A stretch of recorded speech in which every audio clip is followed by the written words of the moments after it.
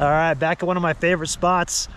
I've been camping this uh, this exact location for let's see, I think I've, I've hit it up once once every winter for the last four winters, and I love it because there's a stream right here, and so I've got a freshwater source, and it's really pretty. You got great views of the mountains over here, and then you can see all the storms that come in through the valley and across from over that way. And so, hey, what's up, girl? Come over here. Come here, Sierra. Come here, Pumpkin. You excited? And so uh, makes for some really good camping. Uh, the only thing is, is I forgot to forgot to get groceries, so I do have eggs and some other stuff. I think I've got some stuff to make uh, pancakes. But overall, we're definitely going to have to make a run to town here shortly. And um, I do have some fire logs with me that are good, but we'll need to pick up some more firewood. We're going to try to score some hardwoods from one of the wood brokers I know uh, kind of close to here. So we're going to go ahead and get set up. The first thing I always do when I'm out here is I grab my snow shovel and I clear the ground. And so we're gonna set up right here and uh, be right next to the water here so I can have an easy source of water to score and put in my jerry container or my jerry can and then uh, we'll get going. So I wanna get the ground kind of softened up. Right now it's frozen and it makes it hard to put the stakes in the ground. So if you clear the ground and let passive solar uh, you know, go through it after you remove the snow, then you'll be all set. So I'm gonna get cranking here and uh, I'm out of breath. This is high elevations. But anyway, like I was saying, you want to clear the ground. What, what happens is the passive solar will soften it up a little bit. You get your stakes in the ground a bit easier. So got a little bit of work to do. Then we'll chill for a bit, kind of get our gear organized. And then once uh, the sun's on the ground for about an hour, we'll pitch the tent.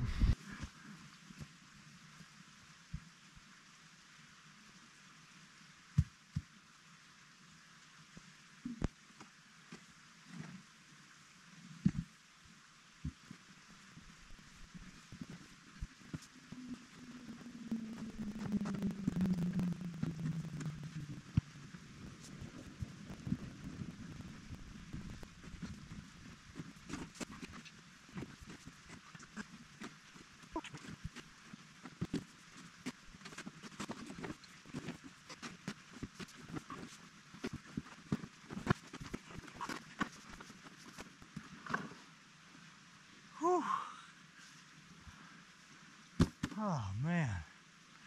a little bit more.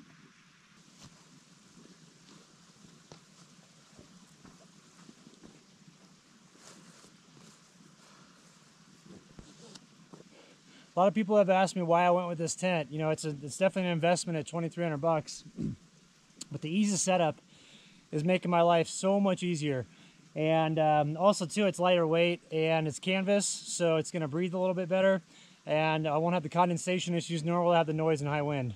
And it's supposed to be high winds here this week, and so I set up in this area because there's a little bit of protection from the trees, but not much, so I can really put it to the test and see how much noise it creates when the winds are really cranking, because it gets going in the wintertime. So we're gonna go ahead and pitch this, get everything set up inside, and I may go make a wood run today, or um, what you got there, girl? What you doing? Oh, are you happy with winter camping? Sierra loves it when we get this set up. I know, girl. Oh, we're gonna have so much fun. So anyway, uh, we're gonna get cranking with this, and then um, I'll, I'll, show you some new gear that I got. I got all new gear for uh, the interior here, and also a new battery that I'm working with, a new solar power station. So we're gonna get going with this.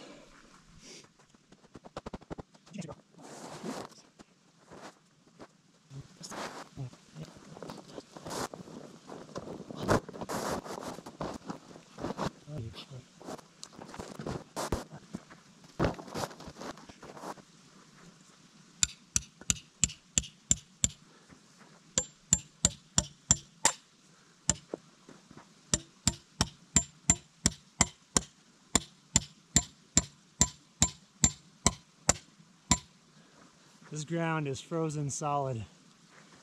Should have let it passive solar do its thing. What'll happen though is with the sun going around, we'll still get to thaw out a little bit. So once the ground softens up a little bit more, I'll pound these stakes in a tad bit. Another thing you can do is you can use big old long, like um, they're, I think they're called like hex screws. You can get them like this big. You can use a drill to drill in and drill out, and that's real fast. So when we roll into town, I'll probably get those. I know, my girl. I know, Pumpkin. You just happy, girl? Sierra loves winter camping. What do you think, girl? Huh? Are you happy? I'm happy, girl. All right. What do you think? Oh my goodness, let's go. What you got? I know. All right. Whew. So like I was saying, now the ground is frozen solid. And that does pose a problem when you're trying to get the stakes out as well. So I'll probably replace these sometime this week with the hex screws because I did bring a drill with me. And that makes it real easy. You can you don't have to wait for like the sun to come up in the morning. If you want to move camp, you can just easily go out, grab your drill, start jamming, and uh, get those things out of the ground and nothing flat. The only drawback to them is if you use them for the guy lines, like the tension rods that come out here, or the, or the, the, tension ropes that come out here, when the ground starts to soften up, if it does have a day where it's above freezing, then those screws, since they're just round and they're just basically a foot long, you know, big screws, they will pull out of the out of the soil. So you kind of want to use them uh, only when you know it's going to be at freezing, you know, all throughout the day and of course throughout the night.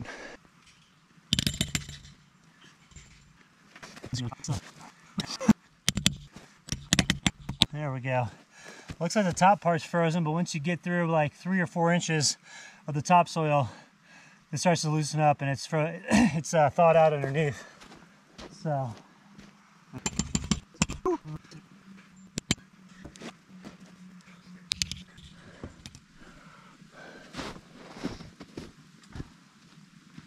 All right, here comes the easy part. What you do is you take these poles after you stake off the four areas, the four main ones, and put them up underneath here, like so.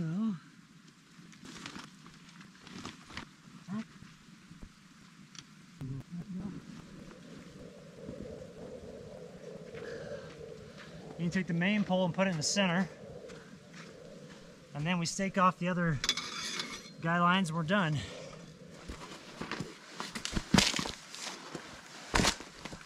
Come on sweetie. Gotta set up our cot way back on the back here and put the stove right here. We'll be good to go. Come on, Steve.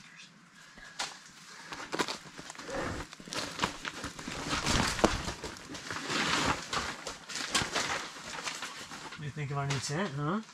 Mm.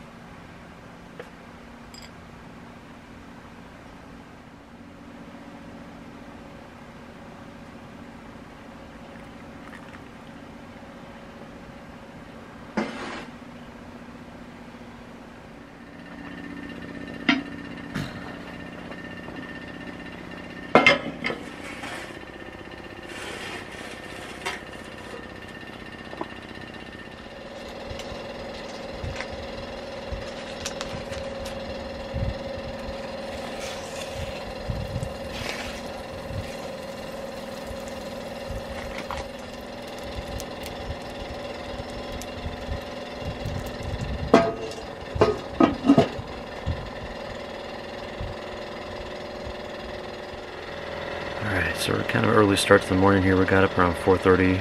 Uh, it's currently 5 degrees outside. There's a little bit of a breeze, but it's kind of chilled out. It was um, about 15 mile an hour winds when we went to bed last night around 10 p.m. But got some good sleep, which was good. I haven't really slept much the past couple days because I've been traveling. And uh, Sierra's still crashed out on the cot. I'm currently making some biscuits over the stove and just got done with some coffee.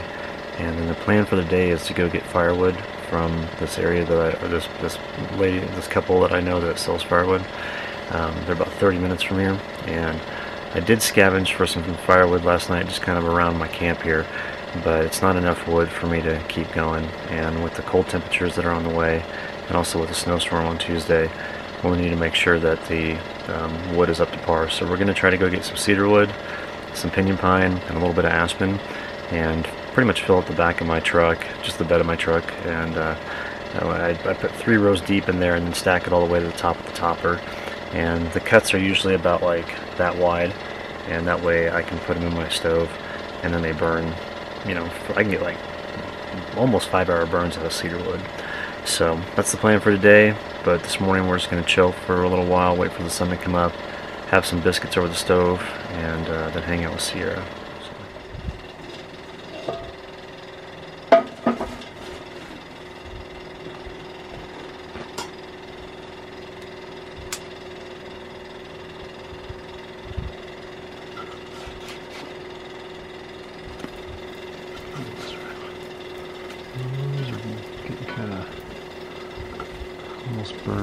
To move this to the side.